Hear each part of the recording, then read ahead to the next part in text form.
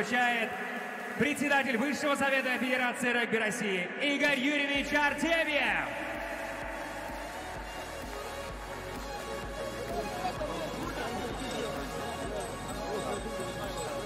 Вот